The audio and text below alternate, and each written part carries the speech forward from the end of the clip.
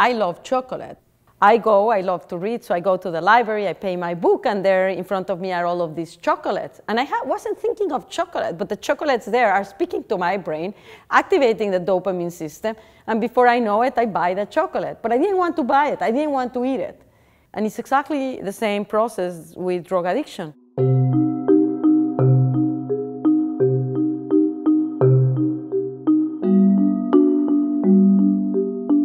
People get conditioned to places where they've taken the drugs, to people whom they've taken the drug.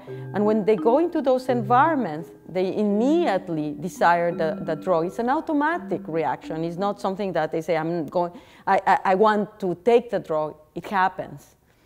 Our brain is hardwired to want to know. And, and science, you get paid to think. They get, you get paid to discover things. I mean, so how better can it get? So when, when people say, well, science is boring, the person that is presenting the science is boring. It's not the science that is boring because science is fascinating. It's the ability to comprehend our universe. And ultimately, to me, the greatest challenge is the ability to understand how the human brain works. I was born in Mexico. I went to Mexico, uh, to the school, medical school in Mexico. And in Mexico, it's six years of medicine. So when I was finishing, there was a paper on Scientific American that spoke about positron emission tomography as an imaging device that allow you to look at the function of the human brain, and that completely captivated my imagination, absolutely. I convinced my father to subsidize me to go to New York, and I showed up at New York University and I said, I read this article, I think it's fascinating, I want to volunteer to work on it. I'm particularly intrigued about the concept about how do we exert control what motivates and drives our behavior, and why people lose that capacity. When did I first become interested in science? It's hard to trace because I've been an incredibly curious person. So as a child, I would always try to understand what made things work or why did animals did some things and how did we differ from one another and what made our personalities. And also my father is a scientist, he's a chemist. I would get into his uh, laboratory and play with his chemicals. And I was a child, and my father would get furious because we were not supposed to do that, uh, me and my sisters. We were growing in, in the house where Trotsky was killed.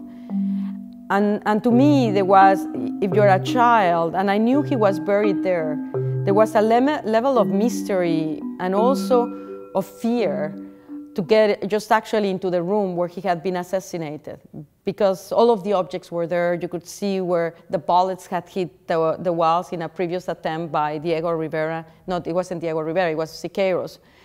So the notion that my family had been exterminated because of a belief, because of a belief of, of creating an, um, a society where you are giving chances to everybody, where people are allowed to develop. So I was brought up with that very strong sense of responsibility with your life to do something that will help others as opposed to responsibility of your life just to enjoy your life on itself. If you look at uh, the way that society deals with psychiatric patients, it's basically with a lot of disrespect and lack of consideration. And in fact, until very recently, and still the case, in certainly in many countries, you cannot get reimbursed from insurance if you have a psychiatric disease. Addictions, drug abuse, are actually the ones that are the most, most stigmatized. So where you are at is a disease of the brain that produces a loss of your ability to exert control, what we call free will, because free will is not something that's spontaneous, I thought. It's the product of the biology of the brain. And there are certain networks and circuits that enable you to do it. Drugs disrupt those specific circuits, and as a result of that, even though you are aware that you shouldn't be taking drugs, you cannot stop it. My favorite uncle was an alcoholic, and, and, and I was fascinated by him. He was a very extremely generous man. Um, he, he was wonderful. He, and yet, when he drank, it was like another person. And at the same time, I realized how much that drinking behavior was pushing him into depression and isolation because there is this total rejection against the person that's addicted, as opposed to recognizing that that individual is suffering from a disease of the brain, which is disrupting the control. So a person that is addicted because of the stigma is not going to come up and say, you know, I'm an addict, I need help. Most people don't. There are some that are very courageous and do it, but most people don't. And the same thing with the families. Families are very, very scared, very, very shamed about having someone in their family that was addicted. The, the father of my mother was an alcoholic. And, and my, my mother really didn't tell me anything into, of this until she, one year before she died, she told me, Nora, you know, I never told you this, but my father was an alcoholic and he committed suicide because he could not control the alcohol drinking. This is my mother. I have a very good relationship, close to her. Her daughter is studying drug addiction. And she did not dare to tell me that her father had been an alcoholic and had committed suicide. And she didn't do it because of the shame, of the fear that I would not have the respect or admiration for my grandfather, which of course for me was nonsense.